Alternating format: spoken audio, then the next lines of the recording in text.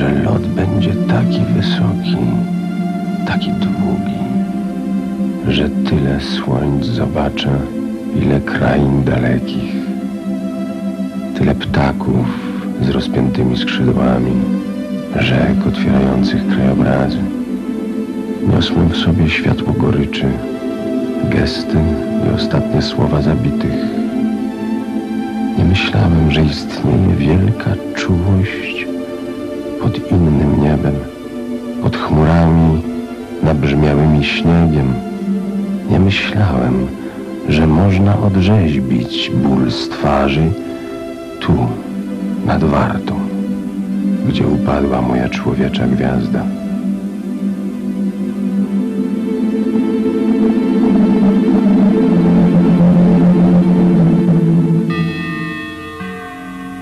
W piątym roku odzyskanej wolności, dźwigająca się z okupacyjnych gruzów Polska przyjęła na swoją ziemię, otaczając wszelką możliwą podówczas opieką, blisko 15-tysięczną rzeszę greckich uchodźców politycznych, żołnierzy lewicy wraz z rodzinami, uczestników kolejnego dramatycznego epizodu niespokojnych dziejów dwudziestowiecznej Europy, greckiej wojny domowej schyłku lat 40. Z rozsypanej po kontynencie rodziny Hadzi Nikolału w Polsce znalazł się tylko kilkunastoletni Nikos.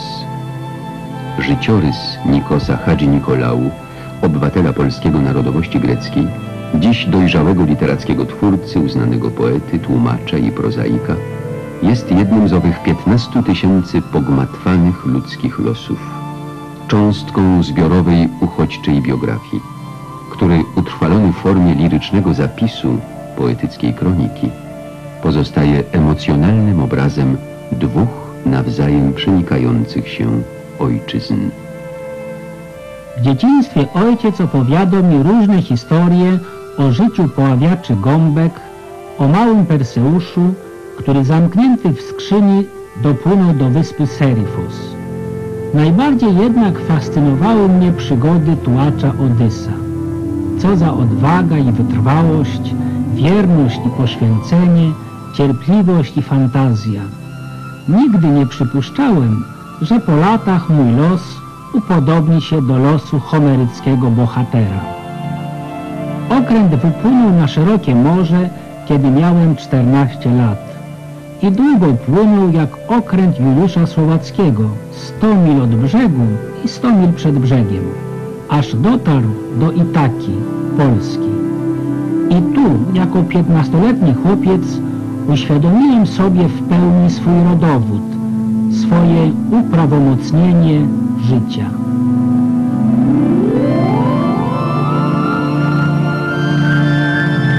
Po ukończeniu gimnazjum i szkoły muzycznej w Szczecinie w 1955 roku przyjechałem do Poznania.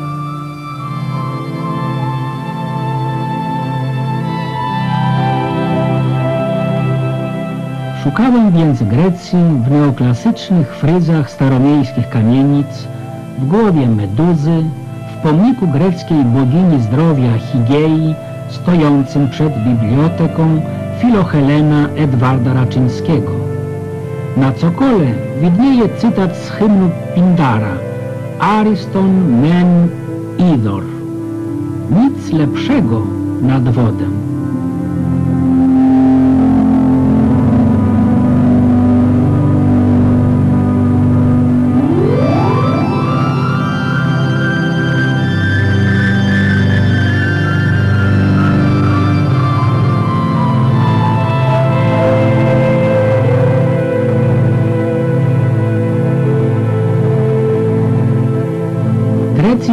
Szukałem też na cmentarzach, przy grobie Zupanosa, wybitnego wydawcy i księgarza, który tak pokochał Polskę, że zmienił swoje nazwisko na Żupański.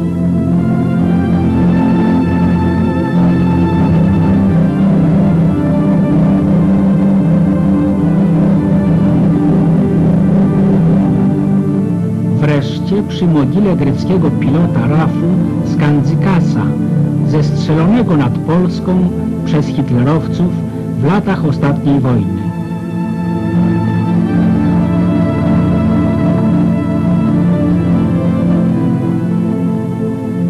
pokolenie nauczyło się czytać z grobów, z kamieni, z otwartych ust, które i teraz odzywają się w snach, na ulicach, w każdym calu przestrzeni.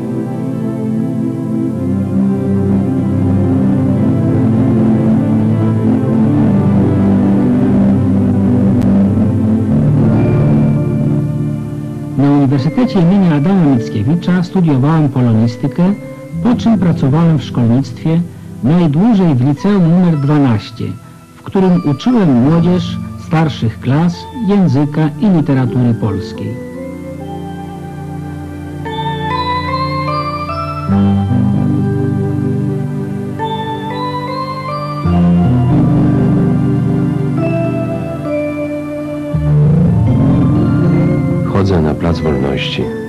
Ziarnami odgaduję głód gołębi.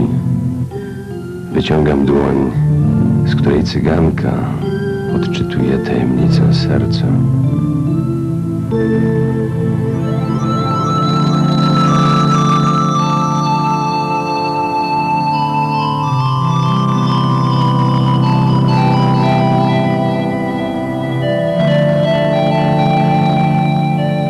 Mieszkam na Ratajach, dzielnicy wielkiej, w której jest dużo betonu, ale i zieleni i dzieci.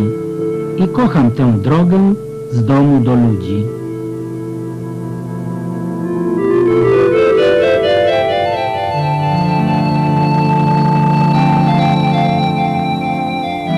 Na mój balkon przyleciał ptak. Karmiłem go okruszynami chleba. Przyleciał drugi. Ptaki jak ludzie boją się samotności. Karmiłem je z ręki. Gdy zabrakło chleba, kroiłem serce na kawałki. Gdy zjadły serce, odleciały na inny balkon.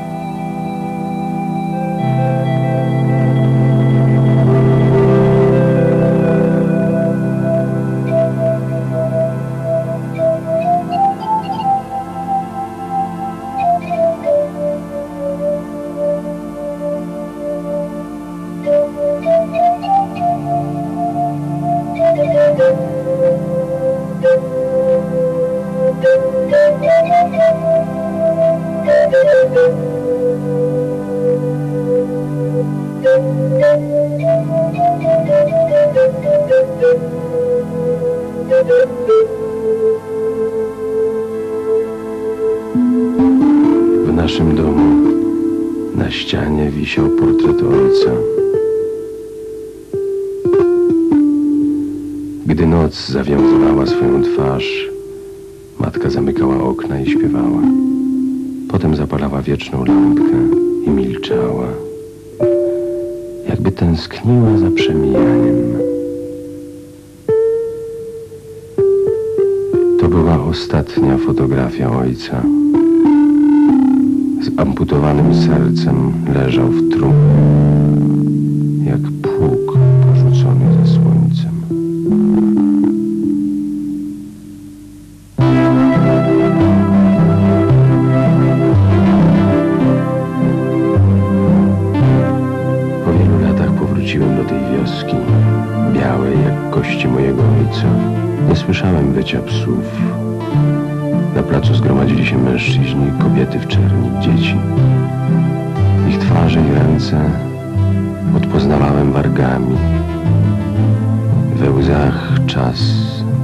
spiętrzał się jak kryształ. Pytali, czy zostanę, czy nie odjadę.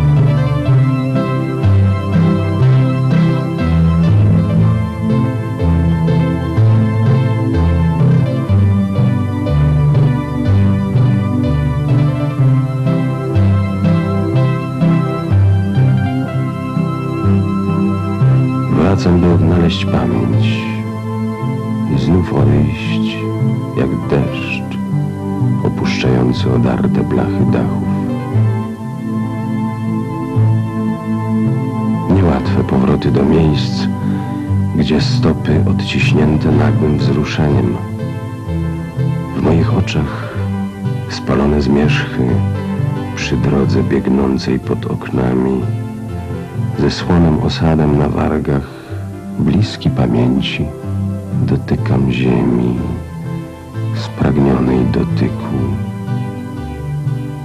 i milczę.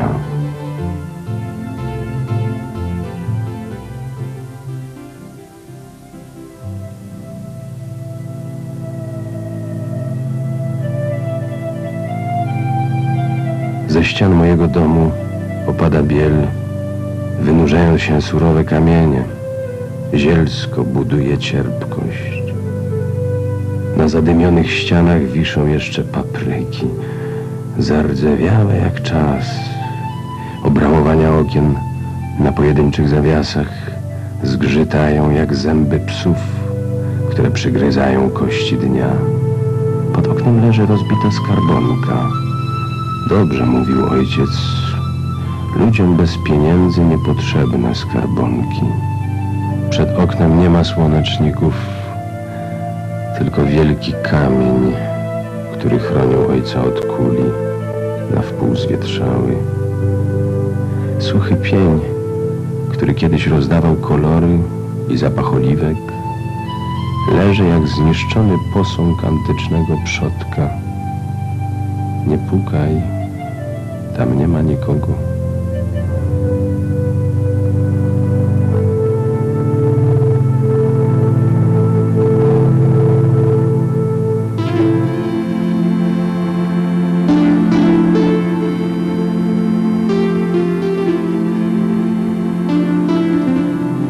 Oto duchownej miejscowości rodzinnej Tryfili przyjaciel z lat szkolnych, z którym grałem w piłkę, kąpałem się w rzece i chodziłem na harendę.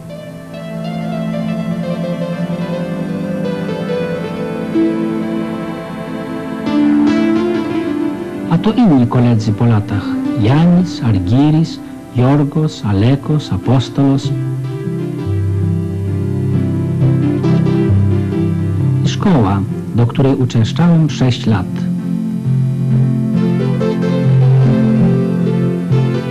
I stryj ze swoją żoną, którzy z rozrzewnieniem wspominają lata pobytu w Polsce. Teraz mieszkają w Tryfili, gdzie na starość zdecydowali się nawet wybudować nowy dom. Stryj Tilemachos do złudzenia przypomina mojego ojca.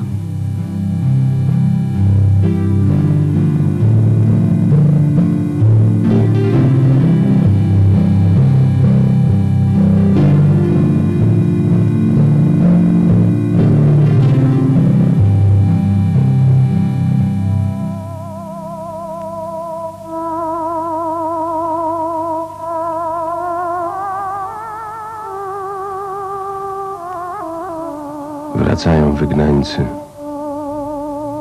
Ich twarze czarne od żałobnych pieśni i modlitw.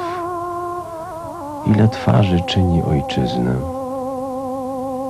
Wracają wygnańcy, pochyleni jak przed trumną.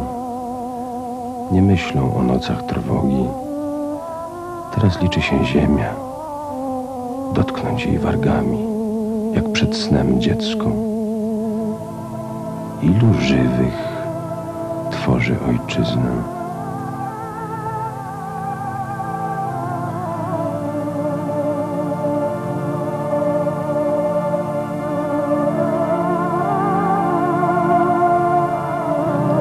Matka w 1975 roku powróciła z Taszkentu, miasta grobu mojego ojca, do Grecji. Mieszka teraz w Salonikach.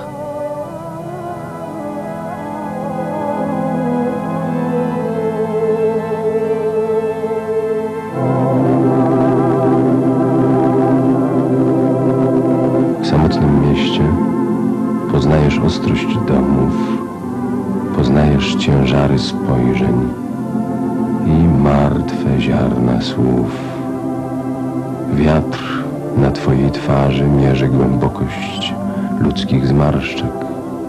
Powierzona czerni, milczenie niesiesz ludziom, jak rzeka zalewająca pola.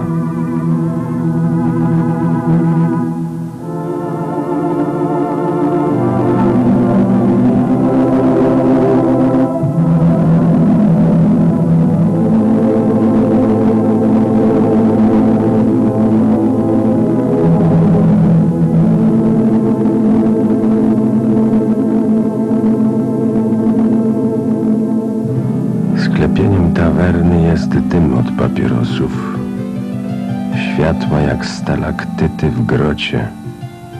Staruszkowie grają w tafli. W ich oczach morze skrzy się dziwnym blaskiem. W ruchach podobni są do kochanków, którzy pachną jaśminem i noc całują w usta. Chcą wygrać jeszcze jeden dzień.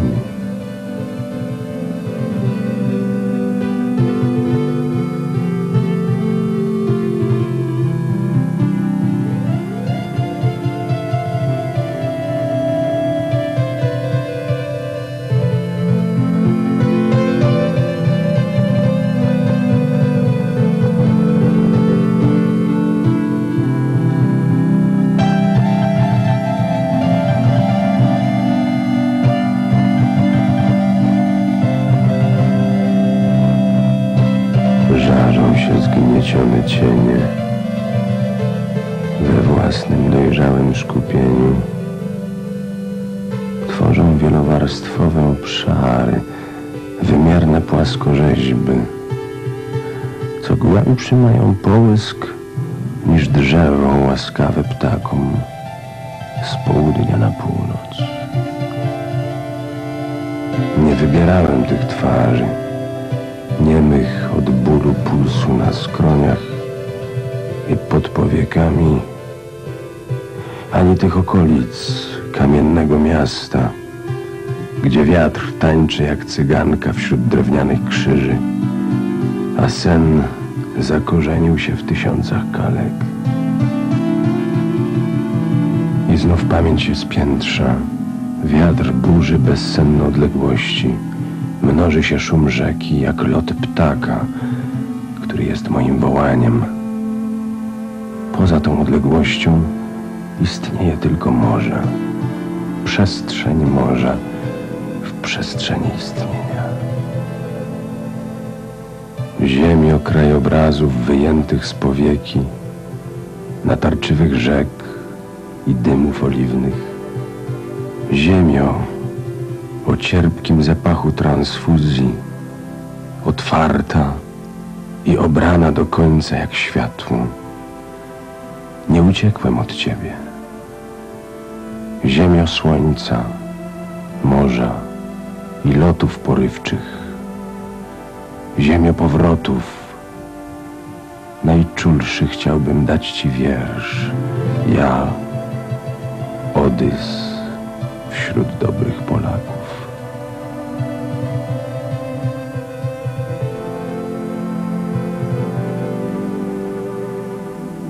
Kamień mnie wiąże z życiem. Ten wielki kamień Sybilii, na którym ojciec wyrył słońce przed śmiercią. Toczę go teraz nieskończonością dnia. Ludzie zatrzymują się, zmieniają opatrunki na moich okaleczonych rękach. Kamienie pocięte cieniami. W kamieniach zamknęła się wiosna. Widziałem, jak ludzie umierali wiosną. W kamieniach poznaję twarz ojca. Podnoszę je do warg, jak rzeźbiarz. Zbyt dużo kamieni, żeby zapomnieć.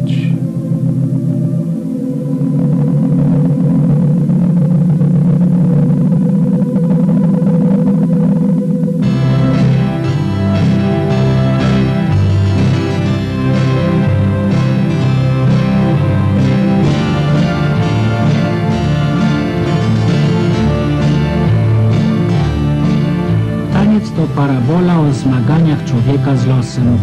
To duchowa miara, czas wewnętrzny, realizacja postulatu wolności.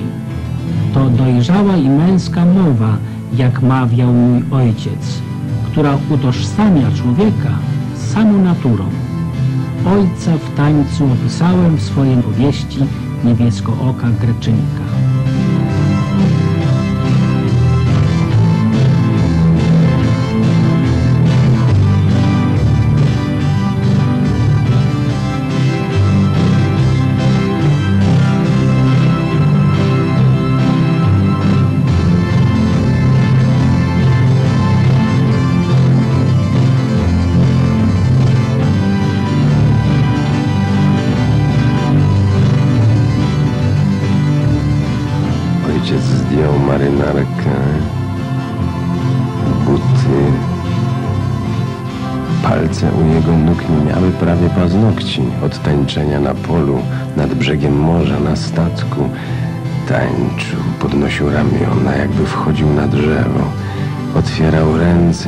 Mewa skrzydła, gdy rozpoczyna poranny lot. Obracał się, podskakiwał, jak dobrze napompowana piłka, wirował, jak gradowy wiatr zmieniał miejsce. Tańczył zachłannie, całym ciałem i duszą, dla samej przyjemności. Podnosił rękę ze szklanką wina, wykręcał, obracał się całym ciałem, wykonywał przysiady, zniżał się i uderzał wolną ręką o podłogę i opięty. Jego szalona energia rozniosła się jak gorączka, wyzwalając własną radość i osobiste wyzwanie.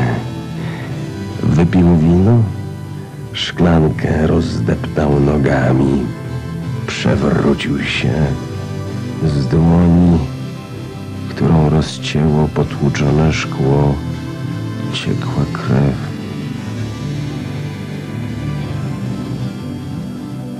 Za wcześnie wyciszyłeś drogę odejściem. Nie zdążyłeś nawet noża wyjąć z chleba, okno otworzyć, jak lasy otwierałeś.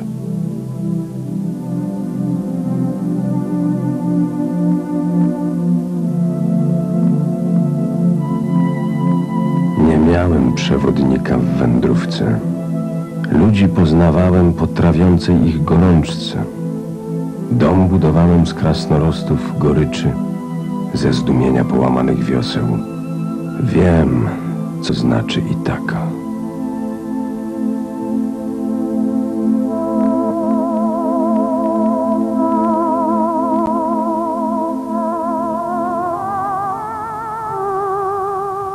Kilka lat temu przywiozłem z Grecji gałązki winorośli. Posadziłem je na działce za miastem. Ukorzeniły się jak moje życie w Polsce. Teraz patrzy na nie mój syn, oby nigdy nie zobaczył uschniętych, oderwanych od korzeni.